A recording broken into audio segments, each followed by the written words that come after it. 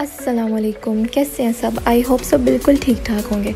तो मैंने सोचा क्यों ना आज आई शेडो पैलेट्स की वीडियो बना ली जाए तो मैंने इस तरह करके सारी पैलेट्स अपनी बाहर निकाल के रख ली थी कि आज इनकी वीडियोस बनाऊँगी। तो सबसे पहले आ जाता है जी ये लिप एंड चिक टिंट ये टिंट मुझे बहुत ज़्यादा पसंद है, मेरा फेवरेट है। वैसे तो ये टिंट मुझे लगता है विंटर्स में ज़्यादा अच्छा रहता है क्योंकि ये क्रीमी है इसलिए, और समर्स में तो वैसे आपकी स्किन बहुत ज़्यादा ऑयली हो जाती है। पर फिर भी समर्स में ये बहुत अच्छा है।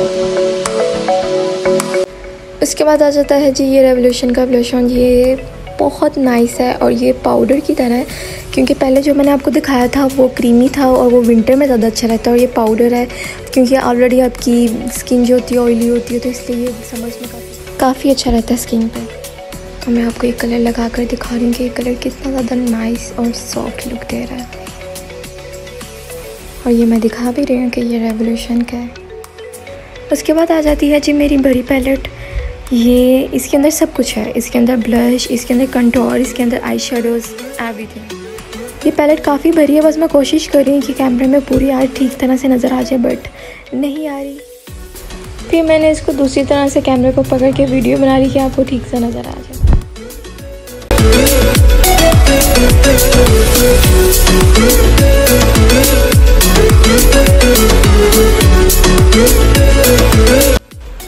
उसके बाद जी, मैं यहाँ पे आप लोगों को ये सब कलर्स करीब से दिखा रही हूँ ताकि ठीक से नज़र आ जाए। फिर मैं अपनी फिंगर्स पे पे अप्लाई किया बट वो ठीक से रोशनी की वजह से नज़र नहीं आ रहे थे बट रियल में बहुत ज़्यादा पिगमेंटेड है।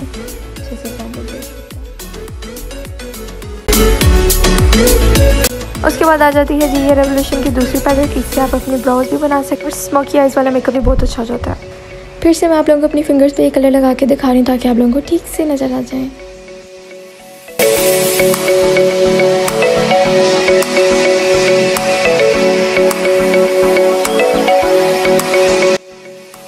यहाँ पे मैं एक अच्छे से वीडियो रिकॉर्ड करने की कोशिश करी थी बट नाकाम रही उसके बाद आ जाती है ये मेरी दूसरी पैलेट ये भी रेवोल्यूशन की है। अब आप कहते होंगे हर चीज़ रेवोल्यूशन की, क्योंकि मेरी सिस्टर ही ये बाहर से लेकर आती है, इसलिए मेरे पास यही है तो जी कंट्रोल पैलेट है, जैसे कि आप लोग देख रहे हैं, इसके कलर काफ़ी ज़्यादा बीच में सॉफ्ट भी है, इसके साइड पे अभी ठीक से नज़र नहीं आ रहा ये। ब्राउन्जर है और ऊपर भी ब्राउन्जर ऊपर वाला ब्राउन्जर थोड़ा शिमर में है ना ग्लिटरी और नीचे वाला थोड़ा मैट में। उसके बाद ये मैं आपको अपने कलर्स अपनी फिंगर पे अप्लाई करके दिखाते हुए और मैं कोशिश करी थी ये अच्छी तरह से आप लोग को नज़र आ जाए तो। उसके बाद आ जाती है जी ये जैकलिन हिल की पैलेट ये पैलेट इसका थोड़ा ना आप इग्नोर करिए क्योंकि ये काफ़ी मैसी पड़ी है ये मैंने बहुत ज़्यादा यूज़ की है। मतलब जब भी किसी को तैयार करना होता है वेडिंग्स वगैरह में मोस्टली मैंने यही यूज़ की है। इसकी पिगमेंटेशन भी मैं अपनी फिंगर्स पे लगा के दिखा रही हूँ। उसके बाद आ जाती है जी ये वाली पैलेट ये वाली पैलेट कोई ब्रांड की नहीं है लोकल ही है, क्योंकि मैंने लोकल ही ली थी। इसके कलर्स मुझे बहुत ज़्यादा अच्छे लगते हैं, इसलिए मैंने ये पैलेट ली थी।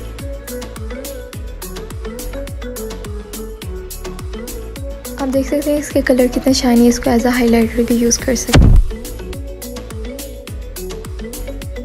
उसके बाद आ गया जी मेरी एक और छोटी सी पैलेट। ये एल्फ ब्रांड की पहले मैंने लिपस्टिक्स आप लोगों को दिखाई थी अपनी पहली वाली वीडियो में। तो ये भी उसी ब्रांड का आई पैलेट है, छोटा सा। तो इसके कलर्स काफ़ी ज़्यादा पिगमेंटेड हैं और बहुत बहुत सॉफ्ट फिर मैंने इसको अपने फिंगर्स पे लगा के भी आप लोगों को दिखा दिया, इसका ग्लिटरी कलर्स बहुत अच्छे हैं। उसके बाद आ जाती है जी, ये वाली पैलेट ये कोई ब्रांड की नहीं है, ये भी लोकल है। इसके कलर्स मुझे अच्छे लगते हैं, इसलिए मैं यूज़ कर लेती हूँ इसके अंदर लिपस्टिक्स ब्राउन आई शेडो सब कुछ मैं